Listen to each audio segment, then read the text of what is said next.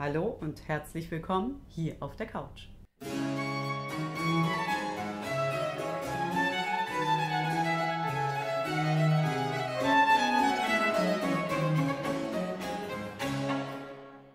Heute geht es um Telemanns Verlag und darum, wie es im 18. Jahrhundert mit der Verlegerei so im Allgemeinen vonstatten ging. Ein weites Betätigungsfeld und eine nicht ganz unwesentliche Einnahmequelle war für Telemann in seiner Frankfurter Zeit und dann aber vor allen Dingen in Hamburg sein Verlag. Das hatte einen ganz einfachen Grund. Es gab nur wenig Musikverlage. Der Typendruck, also lauter so kleine Steinchen, die man aneinander setzt, war zwar schon erfunden, ist für Musikalien aber ein bisschen tricky. Es gibt ja viel mehr musikalische Zeichen als Buchstaben. Und wenn man Vokalmusik singt, dann kommt der Text ja auch noch mit dazu. Abgesehen davon ist der Markt für Musikalien viel kleiner als der für Bücher. Ohnehin waren Druckerzeugnisse das totale Luxusprodukt. Ist ja heute noch so. Oder warum sind Noten so teuer? Diesen Markt bedienten private Verlage wie der Telemanns. Auch Johann Mattesson brachte seine Werke auf diese Art heraus. Hier ging es um kommerzielle Verbreitung. Also wurde vor allem Musik gedruckt, die immer zu gebrauchen war. Zum Beispiel Instrumentalmusik oder vokale Kammermusik. Die ersten Ausgaben schon im 17. Jahrhundert waren Madrigalbücher, Liedersammlungen, Lauten- oder Tastenmusik. Mit Breitkopf und Hertel startete 1719 in Leipzig der weltweit erste ausschließliche Musikverlag.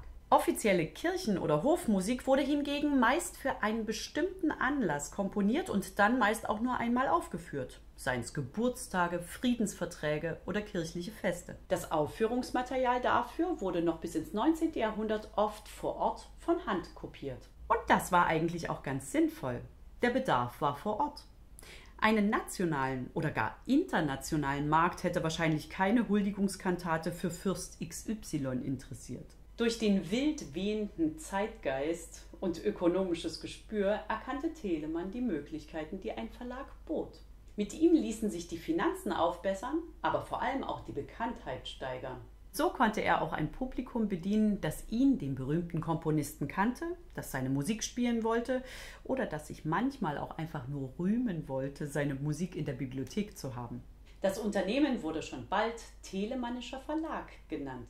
Er brachte dort bis zu acht Editionen im Jahr heraus. Das war zum Beispiel Der getreue Musikmeister, eine Zeitschrift, die alle 14 Tage erschien und Kammermusik wie Suiten oder Sonaten enthielt, manchmal auch Opernarien, die für kleine Besetzungen arrangiert waren. Clevererweise teilte er manchmal die Stücke, so dass der letzte Teil erst in der nächsten Ausgabe erschien und man sich beide Ausgaben kaufen musste, um das komplette Stück zu haben. Außerdem brachte er Instrumentalstücke in verschiedenen Besetzungen heraus, die Kantatensammlung, der harmonische Gottesdienst samt Fortsetzung und nicht zuletzt die moralischen Kantaten und die Singespiel- und Generalbassübungen, um die es hier auf diesem Kanal besonders geht.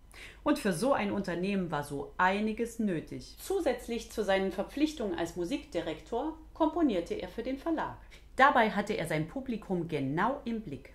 Das waren neben Kollegen vor allem Dilettanten. Von Dilettare, ergötzen, erfreuen. Also recht professionelle Laien. Unter den wohlhabenden Städtern gab es damals viele, die Zeit und Muße hatten, täglich viele Stunden zu musizieren. Außerdem hatten sie das nötige Kleingeld, um Noten zu kaufen. In vielen Städten taten sie sich in Kammermusikgruppen zusammen und waren ständig auf der Suche nach neuer Literatur. Telemann kam ihren Bedürfnissen insofern entgegen, als dass er Stücke schrieb, die technisch gut zu bewältigen sind, die aber trotzdem musikalisch ansprechend und spannend sind. Und das sind nur zwei kompositorische Tricks, mit denen er seinem Publikum entgegenkommt. Noch mehr finden Sie auf meinem Kanal. Der nächste Schritt war es, die Druckplatten zu stechen. In seiner Autobiografie schreibt er, er hätte alle Platten selber gestochen. Ob er das, wie lange angenommen wurde, wirklich alles selber getan hat, ist inzwischen umstritten. Vielleicht hatte er Mitarbeiter, sozusagen eine Werkstatt, die er ja zum Notenkopieren auch brauchte. Sicher ist auf jeden Fall, dass er alles kontrolliert und korrigiert hat. Auf jeden Fall hat er das Drucklayout mit in die Komposition einbezogen. Die Singespiel- und Generalbassübungen und die Solofantasien passen jeweils auf eine Seite. Gedruckt wurden die Noten dann von den örtlichen Druckern. Von einer Platte kann man ungefähr 500 Abzüge ziehen. Nun ging es an den Vertrieb.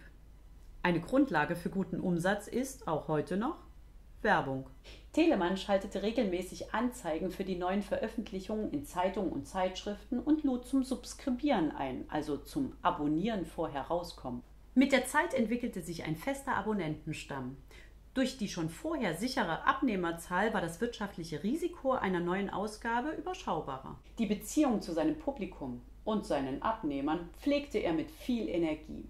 Er korrespondierte rege mit ihnen und schrieb hunderte Briefe. Neben den Subskribenten, also den Subscribers, den Abonnenten, gab es noch die Kollekteure. Das waren Zwischenhändler, die meist eine größere Stückzahl abnahmen und dann weiterverkauften. Meist erhielten sie die Ausgaben zum verbilligten Einkaufspreis oder das elfte Exemplar gratis.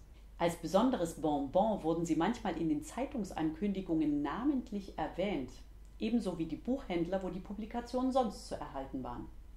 Hamburg war die ideale Stadt für solch ein Unternehmen. Als Hansestadt mit großem Hafen war es bestens an die Handelsrouten per Schiff oder Postkutsche angeschlossen. Telemanns Kontakte erstreckten sich über den deutschsprachigen Raum hinaus bis nach Skandinavien, Russland oder Frankreich. Spannend ist, dass die Kosten für die Post sich damals nicht nach Gewicht, sondern nach Entfernung richteten. Deshalb auch die Kollekteure, die einen großen Stapel entgegennahmen und dann weiterverteilten.